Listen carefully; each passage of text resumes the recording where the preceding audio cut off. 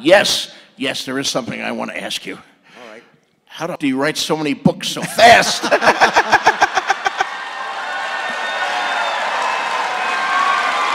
I think, oh, uh, I've had a really good six months. I've written three chapters, and you've you've Yeah, finished but- three books in that time.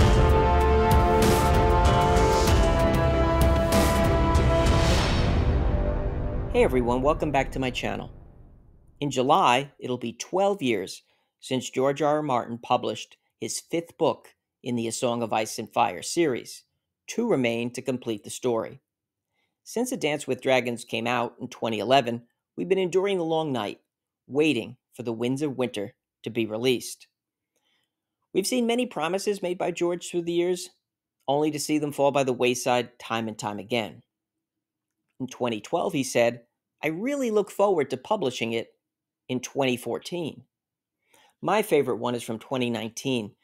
When speaking about attending the science fiction convention the following year, Martin said, quote, If I don't have the winds of winter in hand when I arrive in New Zealand for Worldcon, you have my formal written permission to imprison me in a small cabin on White Island, overlooking the lake of sulfuric acid, until I'm done. What's funny, though, is that George was somewhat imprisoned the next year, which was 2020, like many people, during the lockdowns for the pandemic, and he still didn't finish. So, what's been going on? And will we ever see the winds of winter or a dream of spring? Well, I'm going to run down some of the reasons people have given for why Martin has taken this long, examine those, and speculate a bit on what I think is really going on.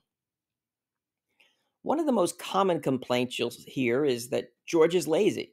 They'll point to him blogging about football, books he's read, other TV series, and they'll point to all the conventions and events he attends. This reason, though, I don't really buy. In the five books that have been published so far, Martin has written a total of 4,244 pages.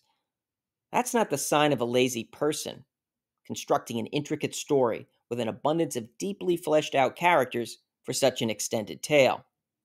Besides, Martin's still very active, and it's not just in the role he's played with HBO in developing House of the Dragon, the upcoming Knight of the Seven Kingdoms series based on the novellas, along with other spin offs.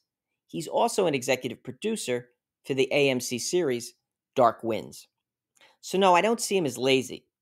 But I think those that say he's involved in too many things and it's taking time away from Winds do have a valid point. There's just so much that people can take on. While novelists can create their own reality with the written word, they're up against the same limitations of time as everyone else. And I also believe at 74, George deserves to do what he wants, to focus on the projects that interest and excite him most. But on the flip side, it's also fair that readers who invested in those 4,000 plus pages want to see the end of the story. Both of these points, while possibly conflicting, each have their own merit. And I don't believe he doesn't want to finish. You don't ever have a day where you sit down there and it's you, like constipation and you write a sentence and you hate the sentence and Okay. you, you, you check your email and you wonder if you had any talent after all and maybe you should have been a plumber.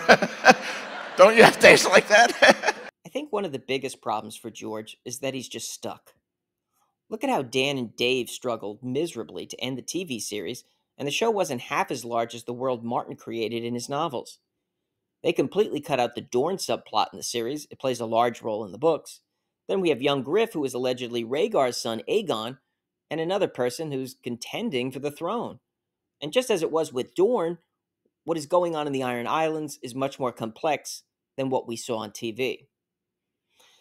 It's difficult for me to see how all of these threads can be tied up in just two more novels, even if each is expected to be 1,500 pages. So I think Martin is having a very difficult time putting all the pieces together and bringing the story to a conclusion. Even in the last book, A Dance with Dragons, the story was still expanding, and it wasn't beginning to get tied up. As the book ends, Jon is still dead, and Dany, after escaping the fighting pit on Drogon, was just found by the Dothraki. If you read between the lines from all of George's updates on Winds over the past 12 years, you get the feeling that he's written much more than those 1,500 pages. But he's gone back and changed things probably countless times. He's really struggling, and those candid comments he made to Stephen King describe what I think is going on with the next book in a nutshell. One angle that I haven't seen anyone discuss is that A Dance with Dragons came out in 2011. That's the same year that Game of Thrones premiered. I don't think that's a coincidence. Yes, the series was huge and that changed George's life. You, you can also say that it put pressure on him to not only finish the novels, but also provide an epic conclusion. But I think the main thing here is that for some writers, seeing the characters that they had only seen previously in their minds suddenly in flesh and blood on the screen and being interpreted by various actors can put a real obstacle in the creative process. The TV depiction takes on its own life. And for a man like Martin, who struggles enough in the writing process by himself, this isn't an extra challenge that he needs. Hopefully, now that time has passed since the final season of Game of Thrones, he can have some separation and reclaim those characters again as his own. So, will we ever see the Winds of Winter?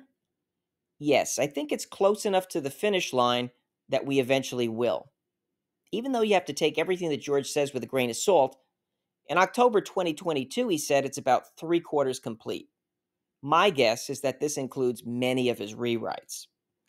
Unfortunately, though, I don't believe we'll ever see the story conclude in the final novel, A Dream of Spring. I know the hope of some is that he's been writing it simultaneously with Winds, but George has been clear in the past that he is not.